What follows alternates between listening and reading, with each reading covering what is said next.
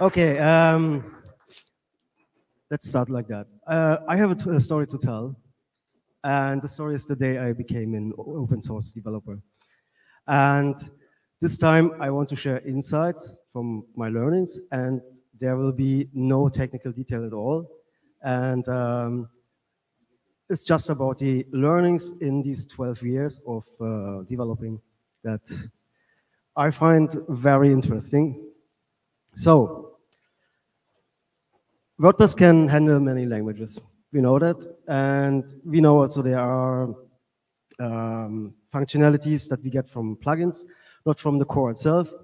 So, um, and it was in 2011 like that.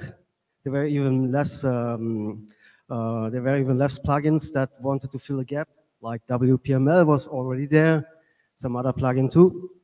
And however, in 2011, in February or so, uh, they decided to become a premium plugin. And it was for me like, oh, I have to pay for that. I believe that was, it has to be in the core. I have to pay. No, I'm not okay with that. And I saw already there was upcoming WordPress 3 with the multi-sites.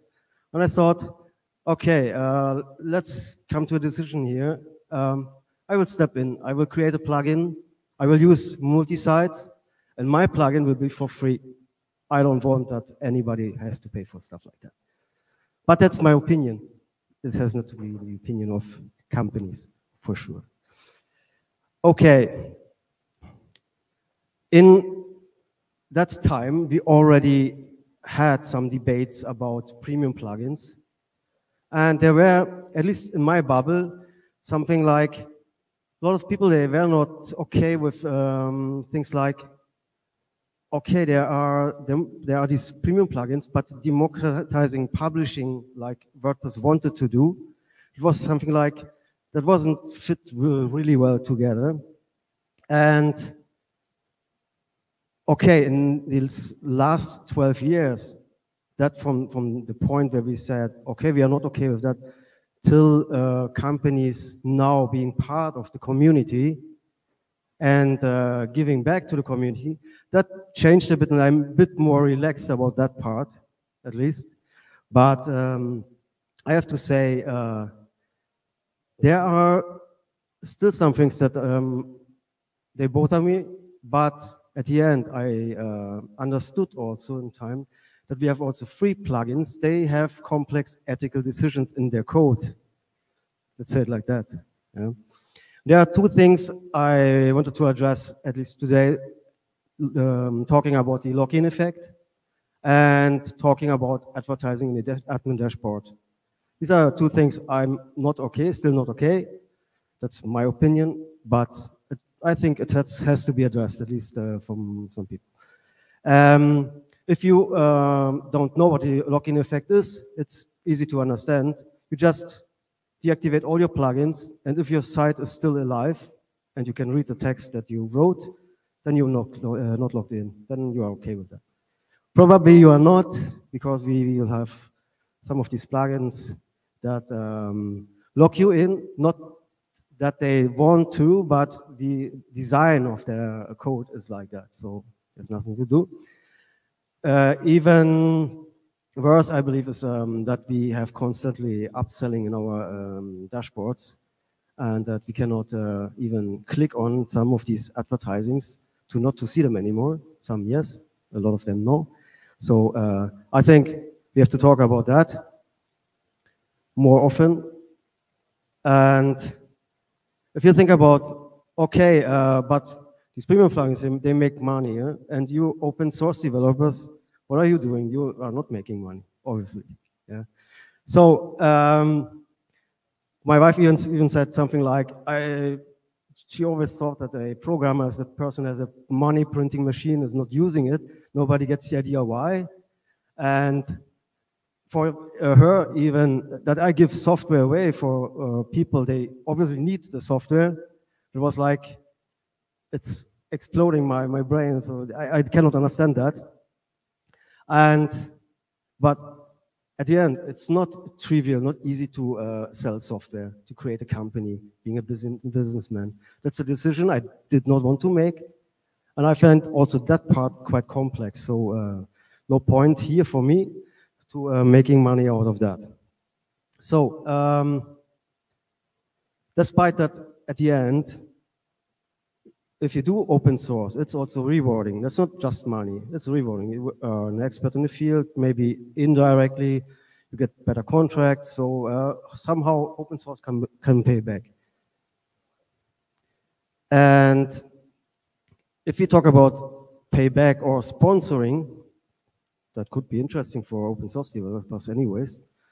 Um, in the WordPress directory, you have a link for sponsoring and um, even well, GitHub sponsors has um, the, the new features regarding uh, sponsoring. You can also, applications can uh, now see their dependencies with open source.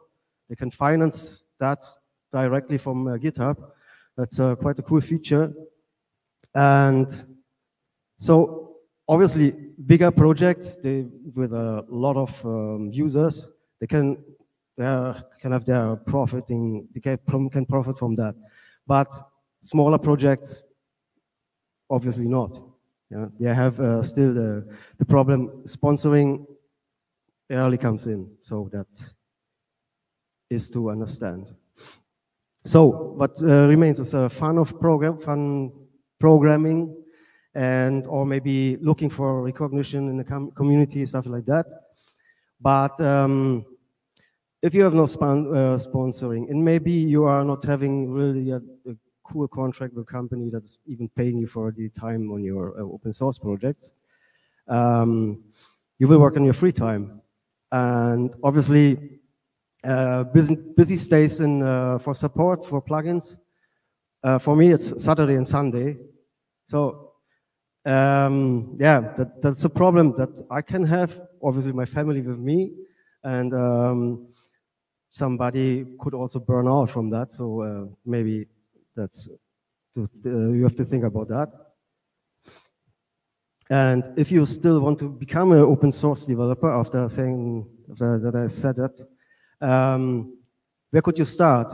Obviously, you see a, uh, a, thing like a problem and you want to resolve it, and you want to start uh, writing software. You could do that in another way, which is probably uh, a bit wiser than that it could um, have something like problem discovered, uh, you found a tool for a solution, okay, it's an open uh, source project, fine, you can uh, collaborate with that project, yeah, and there are a lot of um, open source, source projects, they're looking for uh, developers, for co-authors, yeah, it's not like they think like, oh, I have to be I'm the gatekeeper of my project. I give out my, my roadmap. I don't want that.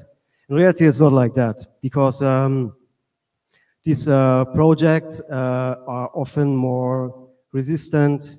They, uh, if somebody really has no time anymore for a certain time frame, it can another shoulder can then take just that uh, that heavy load, and often they are much better in quality over time.